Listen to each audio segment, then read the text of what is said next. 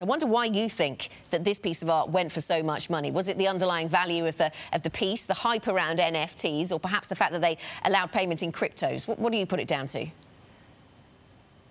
I think it's a perfect storm of a number of factors. I think you're seeing, you know, the price of crypto, like Bitcoin and Ethereum, at near all-time highs.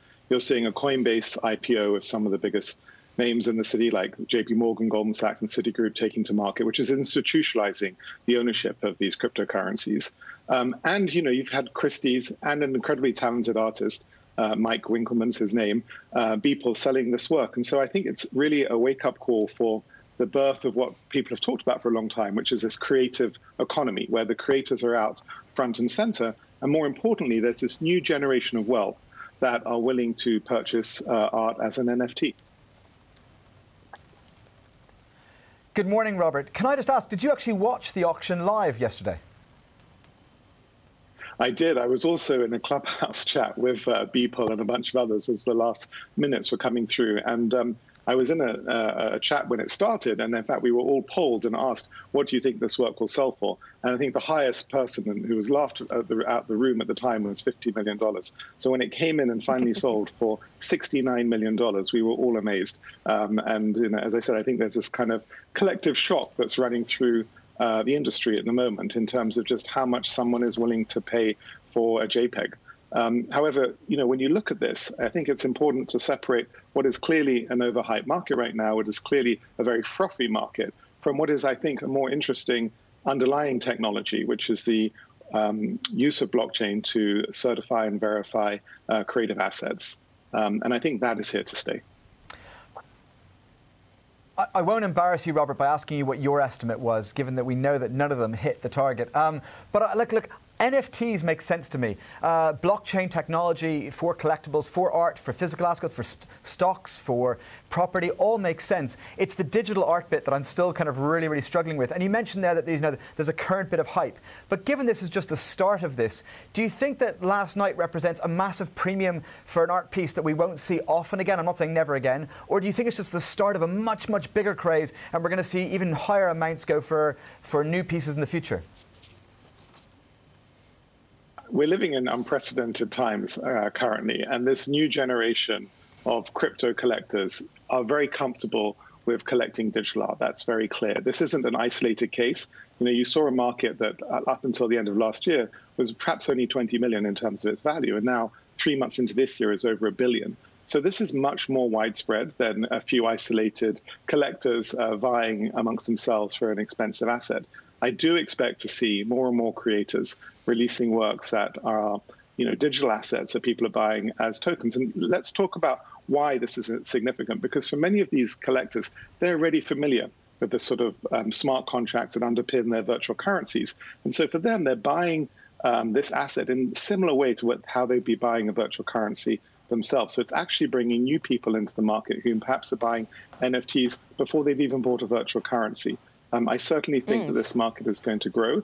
Um, I would be surprised if you can see any sale that beat um, Mike's uh, last night at Christie's in the short-term future. And you certainly sound optimistic and positive about these latest developments, Robert. I wonder if there is a, a part of you that, that is concerned at all about whether the uh, whether the crypto world is perhaps hijacking the art market to sort of drive some crypto hype. And I ask this because one of my colleagues wrote a piece suggesting that this is possibly what's going on. Those who want to prove, uh, who have a lot to prove about, about the value of crypto or about uses and applications for blockchain, like to look on the art market as a way of getting publicity for those views. Uh, do you have any concerns around that? Well, I, I, think you know we did an article uh, last December uh, entitled "Are NFTs the future of the art market?" And what we were seeing is that these digital artists were coming to Verisart and they were creating uh, certificates for their work. And so we started to actually reach out to some of their collectors and the artists and the other platforms like SuperRare, who we did this partnership with on 10 uh, artists selling their um, NFTs for the first time. And what we kind of found is it is actually a lot broader than just uh, you know a handful of people. Um, I do think this is a, a, significant movement. As I kind of said at the beginning, I think it's the start of a creator economy where the creators are out at the front. In terms of a specific sale, um, I think that it's always like any auction. Uh, there may be underlying uh, mechanics uh, and uh, people with vested interests that you know have a have a significant role uh, that they're playing. But I, I don't think this is um, analogous to, you know, a handful of people doing market manipulation. I think this is a broader story.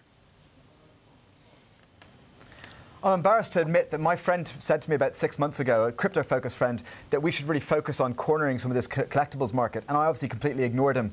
Uh, I'm now regretting that now. I think was some, I don't know whether that part has actually done well, but I presume they've all done well. With that in mind, I'm curious, you know, what your digital art collection is like. Do you, I mean, are you accumulating a lot? Are you focusing more on the NFT side and the practical side, or are you building the digital art collection as well? So at Verisart, we provide infrastructure for title registry, effectively. So right now, there's a big problem on some of these marketplaces, particularly those that are not curated, around fake identity. We saw only recently somebody claiming to be Banksy and selling almost a million dollars and of what weren't actually fake Banksys. They were the real JPEGs. They just weren't um, sold by the artist that was claiming to be the artist. And so this problem of um, fake attribution, this problem that you know, artists kind of um, face in terms of fraud as the markets develop is something that we're focused on solving, and that's part of our um, arrangement with SuperRare.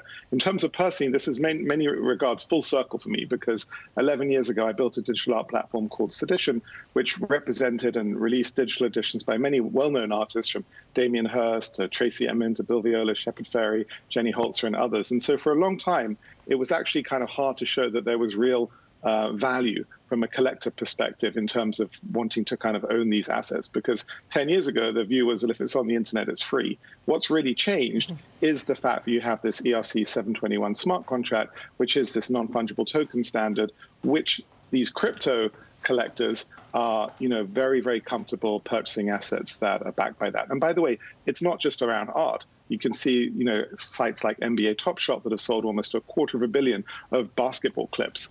And so, again, I say it, it, it's broader than the art story. Actually, the market is um, bigger uh, outside of art in, in, in when you look at sport collectibles currently.